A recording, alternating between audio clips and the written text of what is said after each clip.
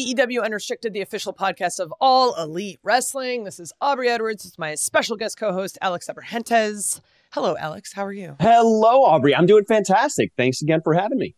Of course, of course. So I want to start this podcast off with an apology because I called our guests ass boys on Twitter. I called them the Gunn Club. I'm just getting everything wrong. And I love both of these boys so much with all of my heart. And I've been uh, lucky to be a part of their careers, their blossoming careers. So, first off, guys, apologies. We have Austin and Colten, the Gunns, here today. How are you guys doing?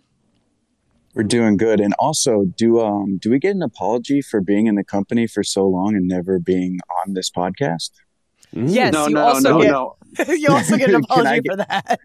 Okay, good. Do we get an apology? Strike one, ass boy. Strike two, Gunn club. Strike three, just being here since day one and not being respected enough to be on your podcast. Oh my god. Okay. Well, Jeez. uh, Do we- do we stop end this an now? yeah, I think that's strike three right there. Let's get out of here. That's a good- Oh, this they was got- well, you've been oh, but they- listening to oh, AEW hold on. Unrestricted. They got Well, dad on. That's all that matters. Oh, it's yeah. funny. I got a, a legal letter from, I guess, Stokely saying that I cannot refer to you uh, in any type of negative connotation. So I can't call you by the name that Aubrey called you, apparently, on Twitter. Uh, so hopefully that'll bring you some comfort knowing that you'll be respected throughout this entire podcast. Yeah, and I mean Good. another thing is we have the trademark on that, so we can sue you if you use it. Mm, wow, good to know. Oh, Good to know. That's All right. let's- All right. Didn't think let's about that, legal. did you? Let's get legal in here. You know. We actually haven't had Mega on the podcast. That would be an interesting one, just as a side note. But yeah, I was uh I was talking to Stacy, our producer, and I was like, wait a minute, how have we not have Austin and Colten on here? And I think maybe just because we had your dad so early that I was just like, oh yeah, we've had Billy because I lump you guys in all the time because you guys travel all the time together and you work out together and all these things. And we'll we'll get into that. Um, but first off, I want to talk about because there's there's been so much evolution to your guys' team and your characters and who you guys have been, especially like very recently in the last few weeks. Um, I want to talk about why why you guys decided to drop club from your name. Um, Because it was, now there's. It was oh, a, go ahead, Os. Yeah, it was a name that when me and my dad started together as a tag team, I was like, "What are we going to be called?" I don't know. We're, we're, we're, I mean, we're about to go do my first match, and we don't even have a name. And he goes, "What about the Gunn Club?" I was like, uh, "All right, cool." And then we just did that for the first match, and then it literally stuck with us for three years. And the entire time, I was like, "This is." To me, I was like, "This is goofy." I didn't want it to like represent anything else. Maybe like New Japan esque, uh, the Bullet Club, and you have all these clubs. And I was like, I was like, "Nah, this is not it." And then for three years, we had to stick with that. But then when me and Colten turned on him, I was like, it's time for me and Colten to kind of take charge of not only our characters, but our career as well. I was like, we no longer live under the shadow of my dad. So I was like, let's just go with the Gunns. It's cleaner, it's more precise, and it's more serious. So Yeah, and it's Hmm. not a club. It's not a club anymore. There's only two of us. So That's Yeah. true. yeah. So you That's went from being a club to being referred to as something else from Danhausen. Can you tell us a little bit about how this all came to be? Because this wasn't something that was necessarily planned, right? But just caught wildfire and uh, has become part of, you know, your history. I mean, like me and Austin like to say, we got that guy a job. You know, like he was nothing before Mm. he decided It to call it- us no. some name, and all of a sudden he's you know super popular on Twitter. So I mean, I'm waiting for him to give me some cut of his contract. Would be nice, but yeah, we were on the cruise. We were on the Chris Jericho cruise, and we've never done one before. So we went out there and we were having matches, and we did a comedy event. And Dan Danhausen came up to us and was like, "Hey, uh, nice to meet you guys. I've been following your careers. Do you guys mind coming out and doing this thing with your dad?" And I was like, "Oh, no, sure, Uh, no problem. We'll we'll do that for you." So we came out there, and he didn't tell us that he was going to call us ass boys, and he was going to reference dad as daddy ass and it caught wildfire, like you said, Alex. And then when we went out the next morning for our match on the cruise, the entire boat was chanting "Ass Boys." I was like, "Wait, this this can only be a boat Chris Jericho thing. All right, let them have their fun. It doesn't matter to us." And then once we touched down on land and we got cell phone service again, it was all over Twitter. When we came back to AEW and we had a dark match on Elevation, the entire arena started chanting it. And then from there, it just escalated into this big mountain. And now we can't get away from it and we can't backtrack. It's like, it's, it's so annoying. It's annoying.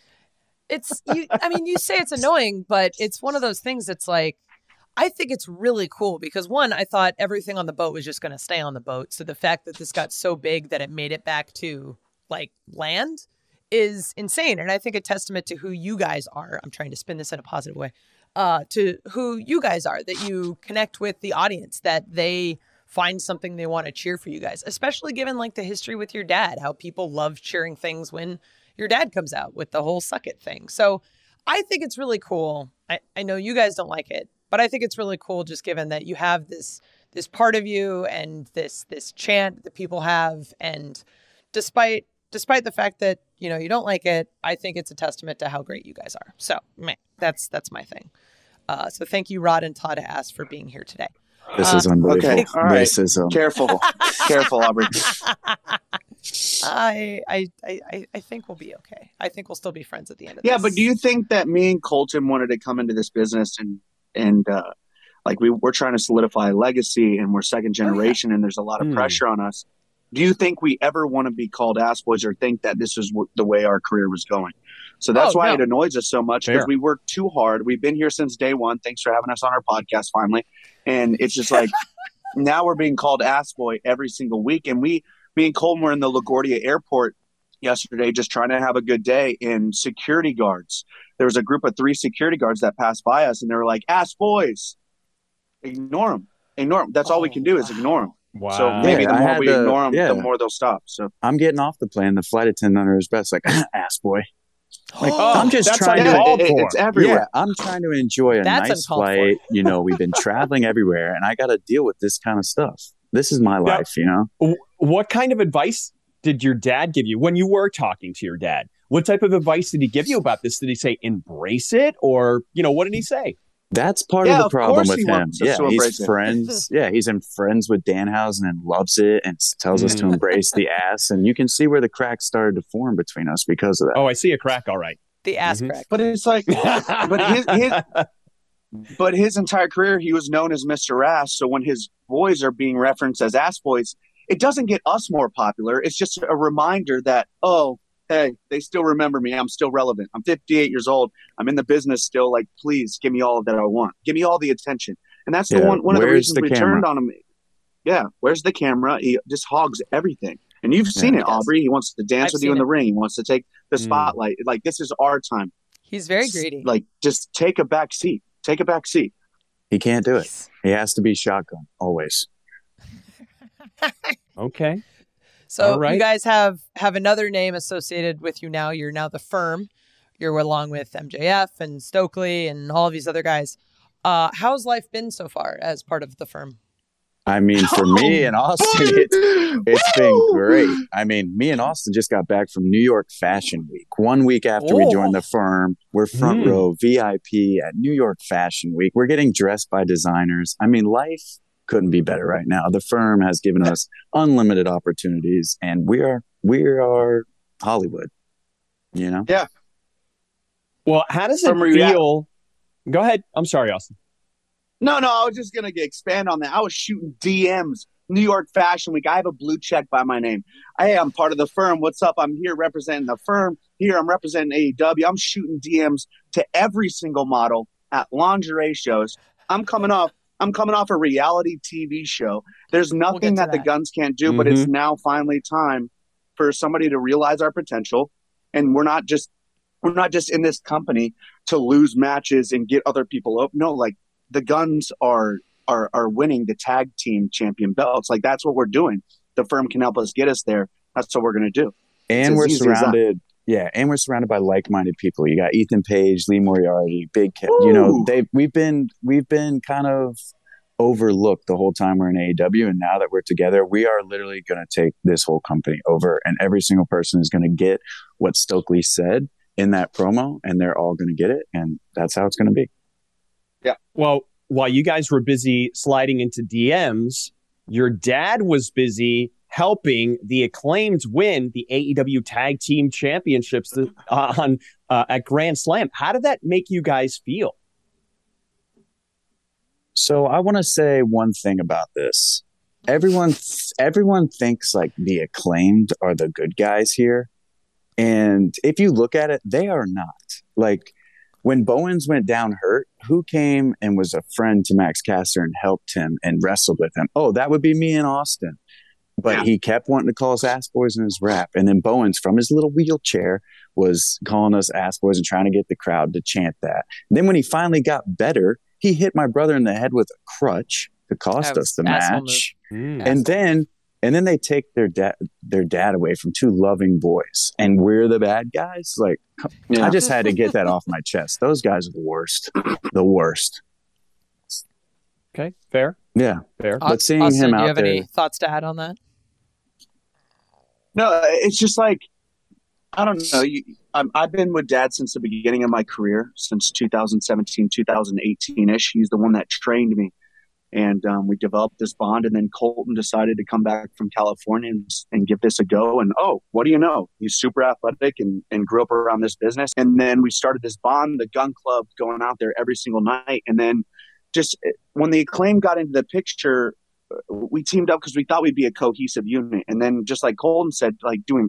doing the raps and then and then making the whole entire arena chant ass boys, it's like it, it becomes like a sort of it's disrespect. It's at a certain point, it's disrespect.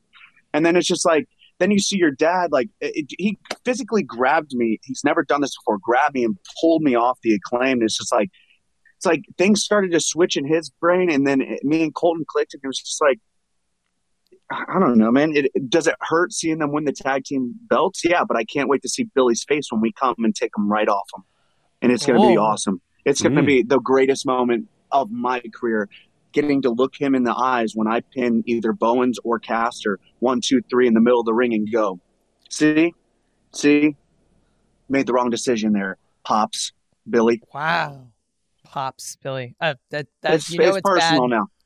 You know it's bad when you start calling Dad by the real name. So oh yeah, oh boy, yeah, oh boy. I haven't um, I haven't called him Dad since. He hasn't even talked to me. So I don't know. Oh my god. Okay, so I I know you're you're on you know bad terms with your dad right now, but I do want to talk about Austin. Your your debut uh, was January uh, 2020, pre-pandemic. Uh, you and Billy debuted as the Gun Club, defeating Peter Avalon, Shawn Spears, and I think you suffered a torn PCL in the match.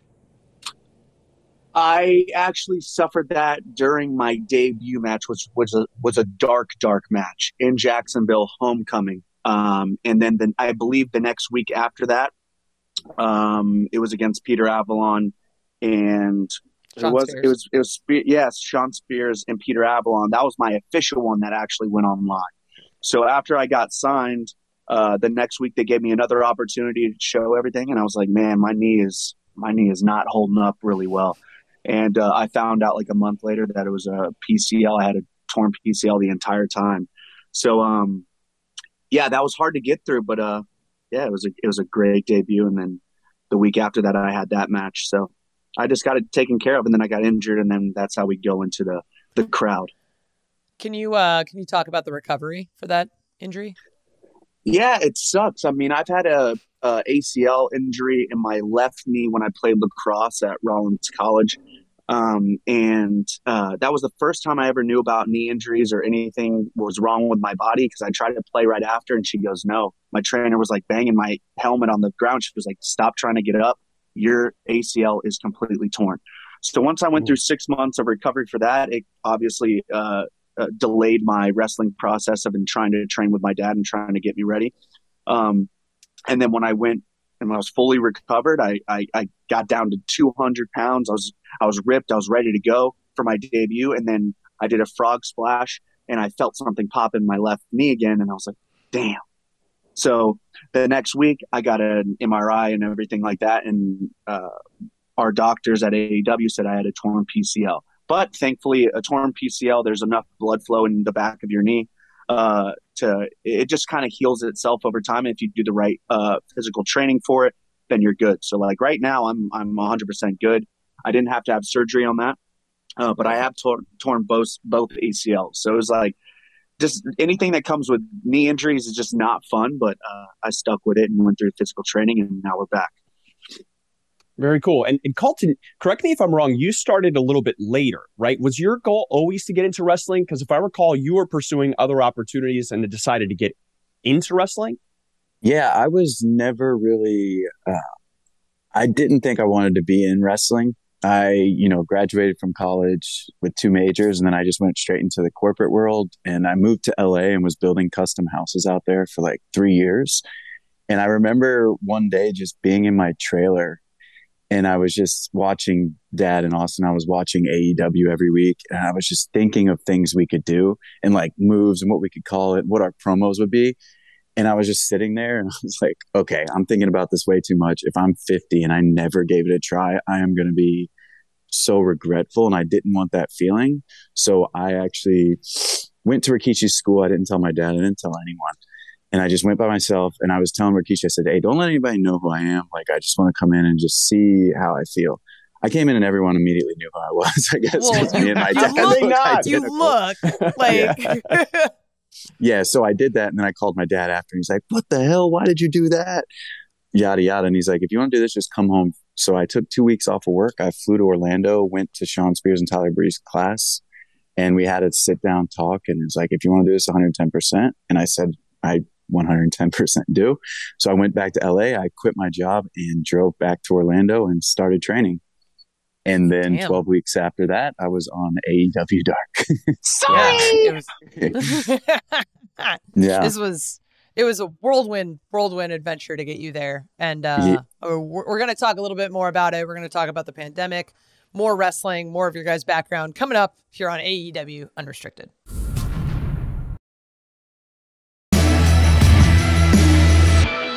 This is AEW Unrestricted. Aubrey and Alex talking to the Gunns, Colten and Austin. A little bit about wrestling, a little bit about the betrayal that they've recently had in their mm. family. All of these, mm-hmm. all of these important and touchy topics. But uh, I, I want to go back and talk about Austin and his incredible work during the pandemic.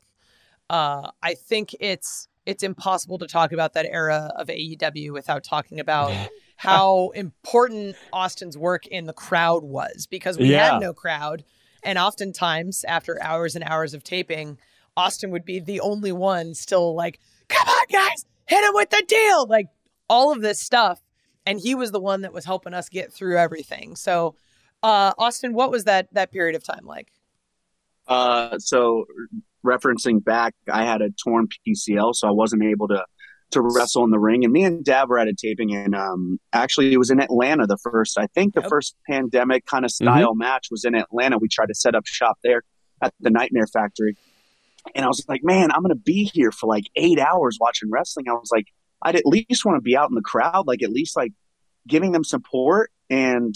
Um, helping them out in any way I could. So me and dad made water bottles filled with nails that we found in like the corner. And I was like, oh, I've seen this at like soccer games. We could do this. So me and Colten went out in the or me and Dad went out in the crowd at that time, and we were yelling at the top of our lungs, just making each other laugh, having fun, making the people in the ring feel like there was a crowd atmosphere there, and everybody else that was sitting next to us was like, "Hey." right? But me and me and dad were going insane, trying to reach over the railing, trying to touch the oh, yeah. talent, everything. So then when it transitioned over to Jacksonville, I was like, oh, this is kind of like my niche right now. I was like, I was like, people are like backstage are like, man, that really helped me. You were losing your mind out there. I don't know how much energy you, you can like sustain for that long. So over time, it, it was more just like uh, when the opening of the show happened, one of the camera guys would have their camera right here in my face, and a red dot would pop up, and I'd be the opening of the show. Me and Dad would go, "Yeah, welcome to AEW, mm. baby!" Right, and it went from elevation to dynamite to rampage and just like I was screaming my ass off for 14 hours and I just wanted people at home to feel like there was a crowd and that they could cheer along with us and like trying to trying to help them uh just just feel more at home with wrestling. It's very weird in an empty arena wrestling and it's just like ah if nobody else is into it I'm not going to be into it. And I was 110% into it. Me and dad had fun. We would make signs. We'd wear shirts. I'd take my shirt off. I'd be like in a soccer arena, like doing chants and making up chants for people. And it was just, it was very helpful for our talent. But it was also in my head, I was like, you know what?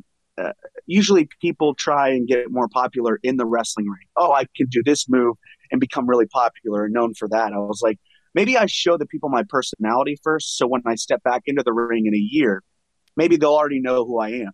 And over time, they were like, I was reading Twitter the first couple of weeks and I was, they were like, oh, who the hell is that annoying ass kid in front row? oh, he's standing next to Billy Gunn. I think that's Billy Gunn's kid, right? And I was already signed at the time. I was like, oh, everybody knows who I am, right? But they didn't. So over time on Twitter, they're like, dude, I can't wait to watch Austin Gunn front row. Like, this is going to be sick.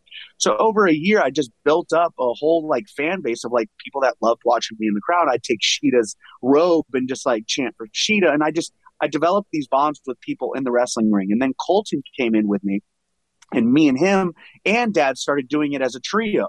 But the thing about it was, is not only were we being like a good crowd member, but me and Colten got to study every single person individually. We got to mm. study Kenny Omega's moveset. We got to study the Young Bucks. We got to study FTR. So now in our career now, we know everything about you guys. So it was like kind of like a study session for us. We get to sit back and go, yeah, we know how to get out of that. Or eh, whatever it was. It was just we we got to study our competition at the same time. So that was a benefit. Well, that's really cool. Let's let's uh, back up a little bit when there were happier times with your dad. Obviously, mm-hmm. growing up, your dad's a legend, no question about that. What was it like growing up as the kids of Billy Gunn? Did you have an opportunity to travel with him at all? Do you have any great road stories? Uh, tell us about that.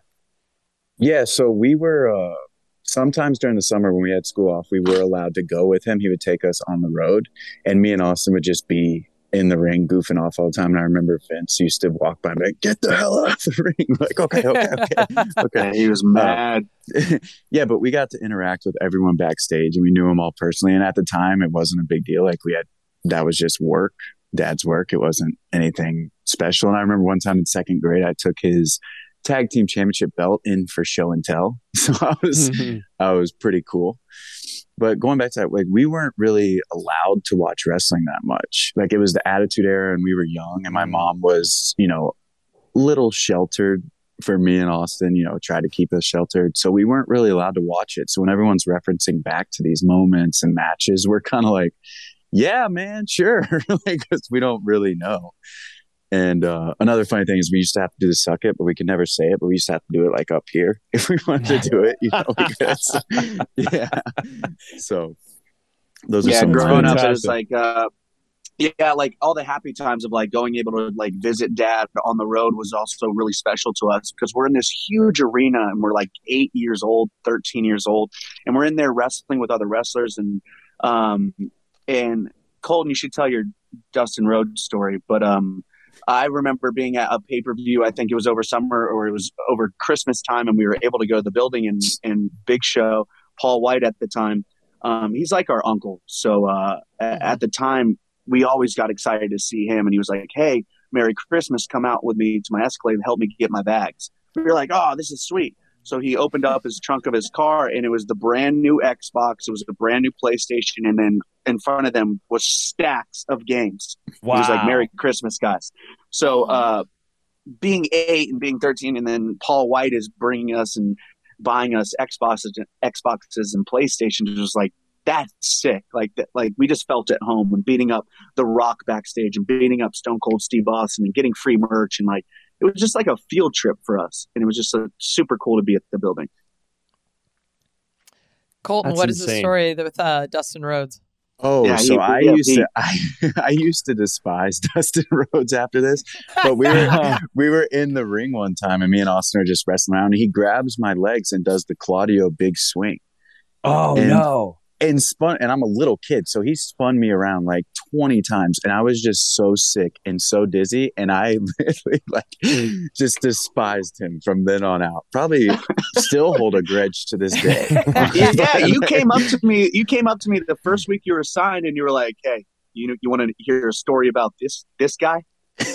I was like, "Oh, dude, what? You've been holding a grudge for that long? All right, man, cool. Never forget." Uh, never, forget. Oh, never forget. Every everything eventually comes back in wrestling in some way, shape, or form. So yes, yes. Uh, if you ever wrestle Claudio, there's just going to be like PTSD, like, oh God, no, no, no. I may just walk Uh-uh. out of the ring, just straight to Yeah, Yeah, just like, just nope. walk. Nope, Done. we're done. yeah. Uh, I, we we've been talking a lot about wrestling, but I want to talk about uh, Austin about your uh, reality show that you did Mhm. uh, a couple months back, the E Series, relatively famous Ranch Rules, which aired uh, January of this year, uh, Saddleback Ranch in Colorado. Uh, talk about being cast in a reality show and that whole process. Uh, well, actually, a fun fact: me and Colten were battling for the last spot on the roster for that show. So we got wind of it. We got wind of it, and we were like, you know what? Let's do our interview. So we had to do an hour interview each. And when I went in my interview, I was like, I'm single. I will do anything. I love to get my hands dirty, and I freestyled for them. I went. This hour interview was insane. I was freestyling. I was doing everything possible to try and get this gig because I knew it would be a lot of fun. It was a break from wrestling. It would transition me to a different uh, platform, and it would just expand AEW's image, and I could represent them. So yeah, I ended up getting that last spot and um, I was gone for a month in Steamboat Springs, Colorado. And I had the best time. I love being out there. My dad obviously rode bulls when he was younger, and we were surrounded by that lifestyle of being around horses and being around a ranch and and getting our hands dirty. And and me and Colten worked in worked in construction early on in life after high school, so like we we know what it's like to put in hard work and and um, get the reward from it. So we were trying to get this this uh, this ranch back on its feet after the pandemic and during the pandemic and they're going through hard times. So uh, yeah i quickly found out my castmates were all from la uh, they didn't want to they didn't really understand that concept of putting in hard work as when it comes to like labor and They- they getting didn't sweaty and getting your hands dirty yeah yeah and um i love him to death but it was like pulling teeth out there so i just became just the guy that uh that did everything and I didn't mind that role at all. I love being on camera. I love being the center of attention. And if that means that I have to do hard work to get there, then that's what I'm going to do. So, So, Colten, how did you feel about uh, seeing Austin on TV in that role? And would you consider doing reality TV? And if so, what show would you want to be a part of? Um, so I watched the first two episodes and then I couldn't watch it anymore just because like I was just watching as like they tried to turn Austin um Hannah, I guess her name was, into like a love story. And I was like, I can't watch this. Like, I just I just I just couldn't watch it. Um, but super proud of him for doing that. I mean, it's kind of scary to take on a reality show, but um I think I would do one. I would just be the bachelor. Uh, you know. That's just that's, that's All the girls fighting for you. yeah, that w- that doesn't sound too bad. No, it's a it's a that's reality not real show different. That's not any different than real life, huh? right, right. Hey. It's the most reality show. Oh, so great. Um, I I want to go back to something that you had mentioned in our last segment, Colten. You used to build houses in L.A. I did.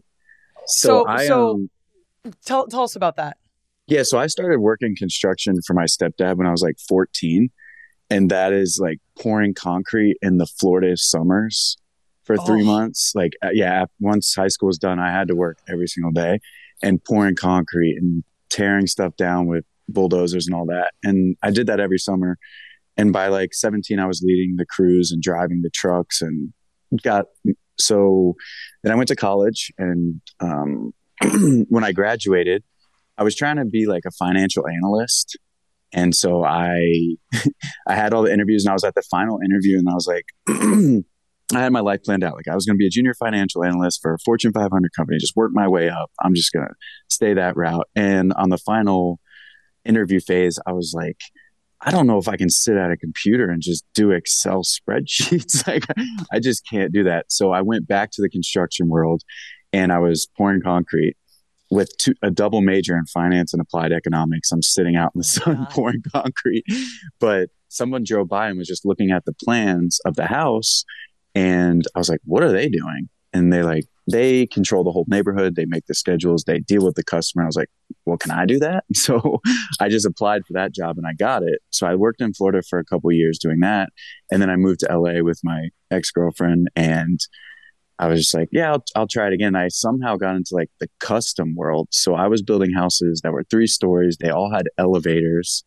Um, I had a few LA Lakers players in my neighborhood, um, a few NFL people, CEO of like Snapchat. And I was just like, I don't know how I got this, but I had two assistants who were older than me as well. And I was in charge of the number one um, revenue comp- like subdivision in the country for that company. So wow. I was, yeah, I was doing pretty well out there. And that's how I got into it. And I was doing that and then gave it up to be a wrestler.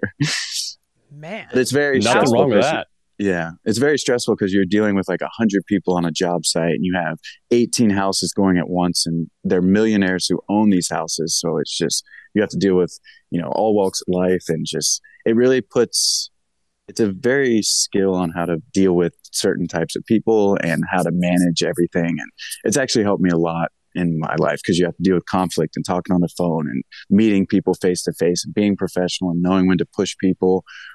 It's just it was actually very beneficial to me i think. That's super that's, awesome. Yeah that's yeah. fascinating. And it, it, another thing that i want to talk about that's fascinating because you know we see you guys on tv as the Gunns professional wrestlers very successful talented but then you also do amazing things like that and then austin you do amazing things like having this rap career which you know a lot of people may not even know. Can you tell us a little bit about how you got into that, about your album, about perhaps your future goals with it? Yeah, I think uh, just growing up, I, I I used to freestyle over the radio, and and one of my friends one time we were down by his dock, and Fifty Cent came over the radio, and I was like, "You want to try and freestyle?" So uh, I just started freestyling. I became very good at it. I was like, oh, I like doing this as a kind of sense of therapy and a way to get out my emotions, whether I'm happy, sad, lonely, whatever it is. It's just uh, I would put on that style of beat, and I would just kind of just let my mind wander and let it go. And over the years, I started figuring out GarageBand when when uh, the Apple computers started coming out and Mac, and you could do it yourself. And I was in college and I had a little closet and I would wrap my blanket around it and have my mic hanging from a hanger. And I would be sitting there with my, my MacBook in my little closet, just like rapping and do, trying to, trying to make a song. And then over the years, I just found out about studio time. And then one of my friends, Safe Love, that I have that, that collab EP with, just he started freestyling with me every single weekend. And just like, it was a sense of therapy for me. And then I started going into wrestling and I was like, man, I still do this every single weekend. Why don't I just like come out with a couple freestyles or things that I've been sitting on for for years? I wrote those things back in 2016, and it was just I finally did it, and I received so much love from my freestyles, and they were like, "Oh, I wanted to hate this so bad because I hate you as a wrestling character and you in wrestling, but I'm not. I'm not kidding. You're you're actually pretty talented." So I was like, like, all right, it's like two avenues. It's like I have my rapping and my wrestling, people who enjoy my music, and people who enjoy my my wrestling, and then there's people that enjoy me watching me pick up poop or an artificially inseminated cow on reality TV, and it's just like we do so much behind the scenes, not just wrestling. So, um, yeah, just my wrestling career, uh, it, it it comes first, and uh, when it comes to music, it's something I still still do every single weekend with with uh, my buddy Safe Love, and we just recorded a song. Um, I sent it to Colten um, last weekend, and I have another freestyle that I'm writing right now. So it's just it's just when I have time, I'll, I'll do it um, and release it. But for now, it's just wrestling is is always come always comes number one. So you both are just so multifaceted and have crazy backgrounds, and I already had so much respect for you, but now I have even more. Uh, we're talking to Austin Colten of the Gunns, the firm, here on AEW Unrestricted. And coming up, we've got lots and lots of fan questions.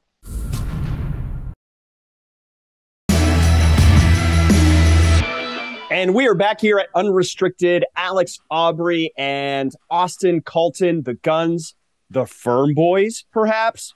Saying that out of respect. Careful Guys, it's been a lot of fun. Hey, hey, I think that's a positive thing, being known as a Firm Boy. No? Yeah, I, I don't mind that. I don't mind okay. that at all. As long you as you don't add so the other the word between yeah, exactly. it, we're good. Yeah. All right. Very good. Well, we've got some great fan questions for you because obviously uh, uh, you've got a lot of fans. Is so, what are the questions? fan questions. I, I, have a good one here. We're going to start off with one. What they're going to be about? Well, this is a good one. So, Travis Hatmaker wants to know who were your favorite wrestlers growing up that were non-family members? Um, I'll go with Stone Cold Steve Austin. There we go. I feel like that's a cliche answer, but I mean, how can you hate one. the glass shattering and then him just stunnering everybody in his path? It's hard to hate. True. Yeah, I uh, I was a big fan of Shawn Michaels. I loved his energy. I loved his goofiness at times. I loved him in uh, the DX era. It's just uh, I think he re- re- I relate more to Shawn Michaels. I think uh, when it comes to my energy in the ring too. So like growing up, uh, I love Shawn Michaels. Obviously from our gear, it's inspired by him.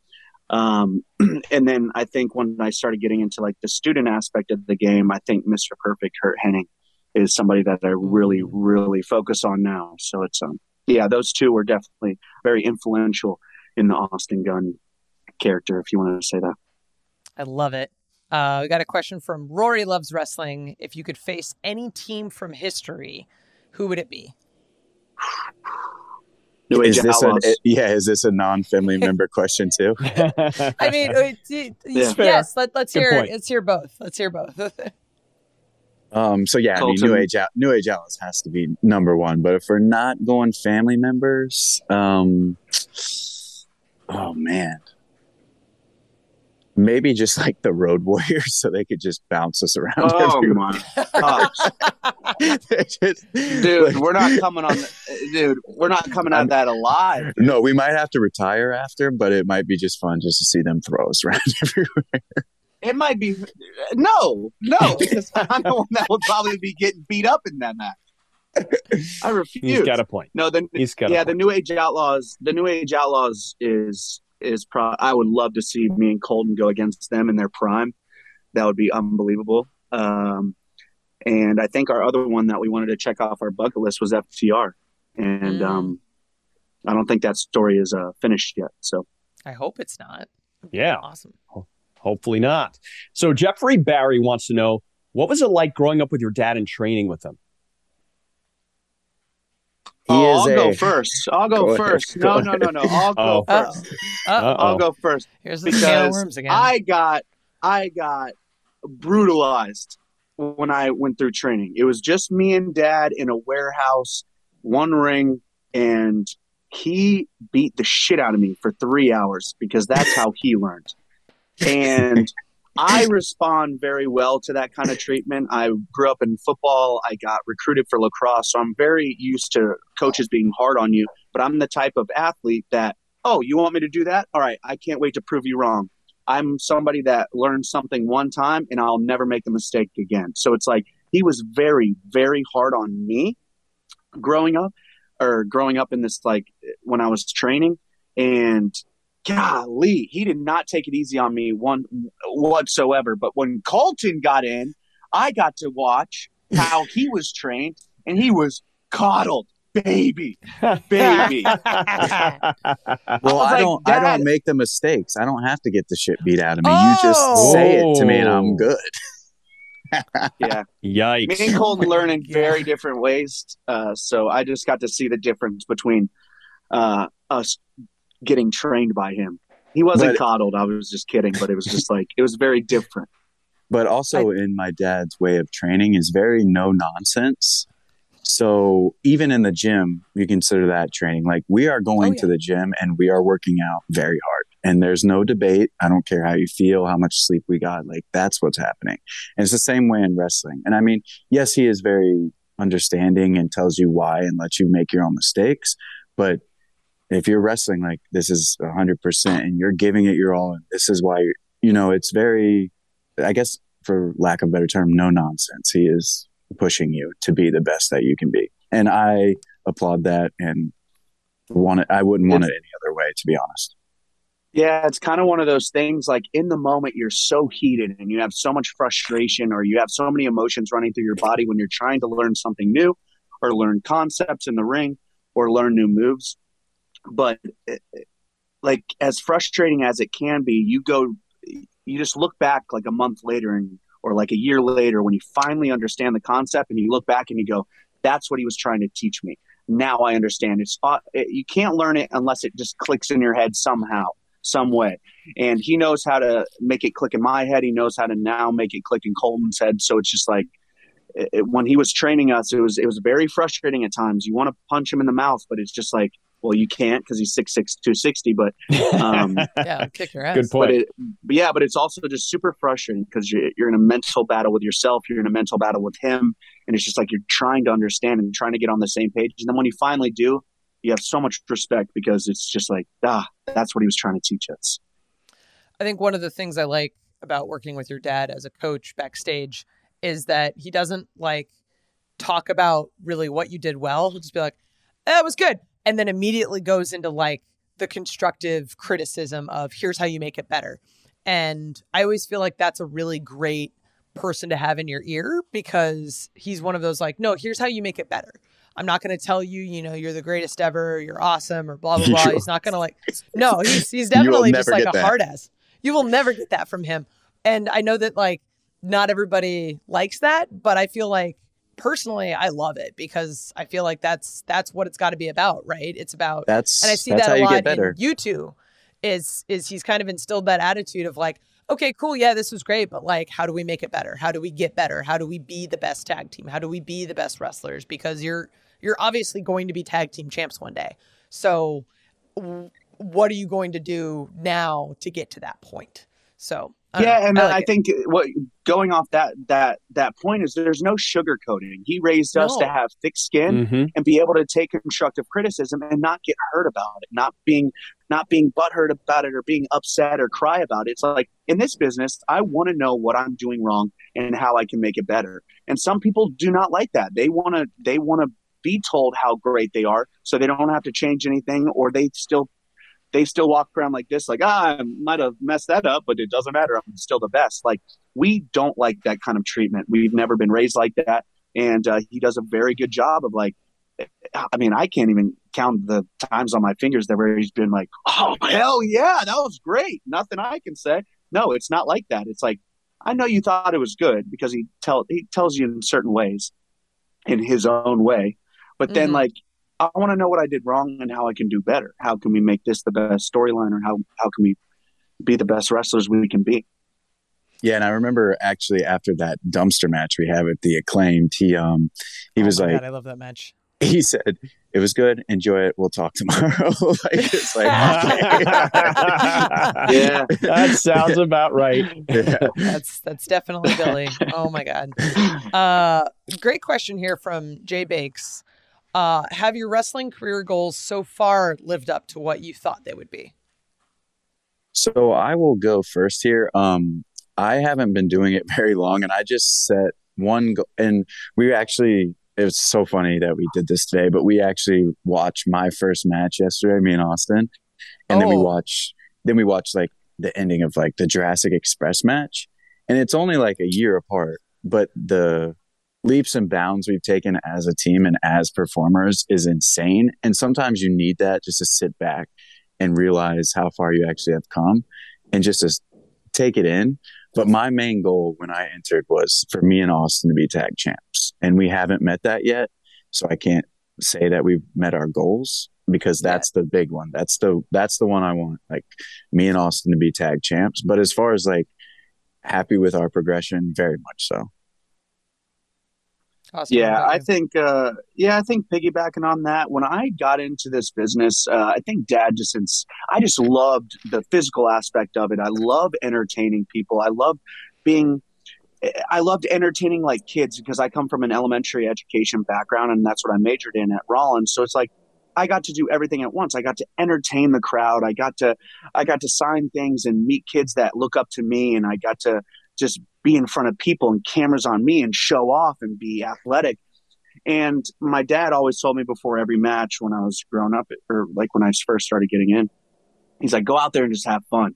So, like, when Colten got into it, I didn't really have a goal in mind. I was just like, I am having so much fun. I'm wrestling with my dad, who's still one of the best ever to do it. Mm-hmm. I'm now kind of, as a younger brother, and now I'm like teaching and watching my brother wrestle and get into the business and go through the roads that I like. He's doing things that I used to mm-hmm. mess up on, or like he's doing things that oh I I remember being there. So it's like a weird dynamic at first, but I was like I was like I'm just having so much fun. And now that we're getting a little more serious about our our stuff and our craft and and how we want to re- be remembered, the tag champs are are now number one on my list. Yeah, I had fun, but now maybe people weren't taking us as serious as I as I wanted them to. So now, as we take this new direction with the firm and are surrounded by people that are just as hungry as us from day one, now I think that's that's me and Colten's goal. Is just I want to wear the tag team champion belts. That's that's a fantastic that's answer. I mean, a great goal. Where you got to go. Great, great goal. And I I really hope that like I mean, I, I love those boys too, but it would be really great to see you guys take the belts off of the acclaim just because I feel like that there's I don't want that story to be done. I think you guys like, all have amazing chemistry. Like we'll you see. said, everything in wrestling all comes full circle. And if if we if if they still hold it we get number one uh we just gotta be in that number one place. We have obstacles to get through in order to get to them. So and you will get through. Take them. it one You've step at a time. Gotten through so many obstacles, and I'm so happy that we finally had you on this podcast. Three years too late. Uh, I know Colten wasn't even in wrestling three years ago, but I'm like, it's three years too late. We definitely needed you guys on. And uh, I want to thank you guys for being here today.